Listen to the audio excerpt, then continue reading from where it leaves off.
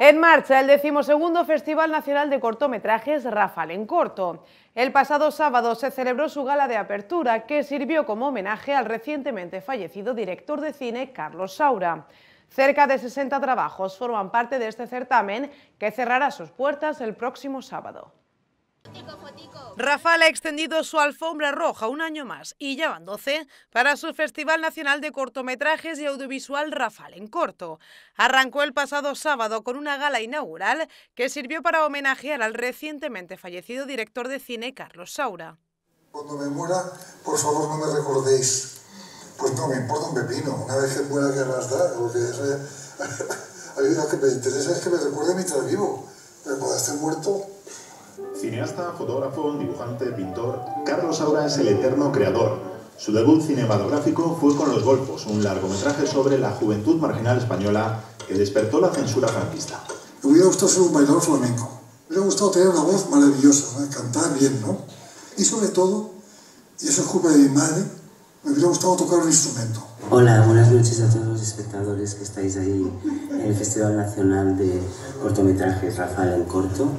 Eh, soy Eulalia Ramón y quería agradeceros el homenaje tan bonito que, que vais a hacer a nuestro querido Carlos Saura y desde aquí un abrazo muy grande y muchísimas gracias por este homenaje. Una noche donde tampoco faltó la música de la mano de la cantante catralense Verónica Marte con su primer trabajo, Destrucción.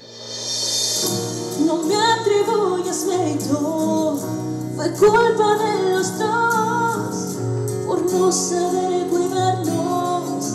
Creamos la destrucción. También tienes heridas abiertas como yo,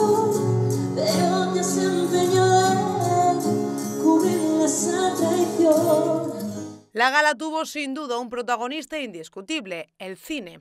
Por el auditorio de Rafal está previsto que pasen estos días directores y directoras, actores y actrices y personas vinculadas al séptimo arte. También los vecinos y vecinas que quieran disfrutar de los casi 60 trabajos que forman parte de este certamen y que tendrán que valorar los miembros del jurado de esta edición, personalidades relacionadas con el mundo del cine y la cultura.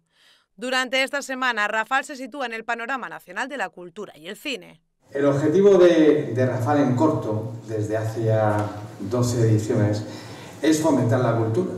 Nosotros no tenemos eh, turismo que vender ni otra cuestión, simplemente lo que queremos es fomentar la cultura. Lo queremos hacer siempre, bueno, una de las formas es hacerlo a través del cine.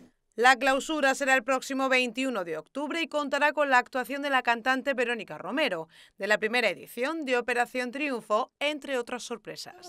Me he enterado que en nuestro pueblo se hace cine. ¿En serio? Sí, sí, sí, como te lo digo. ¿En serio? ¿De casualidad alguien aquí ha hecho o ha participado en un cortometraje en verano?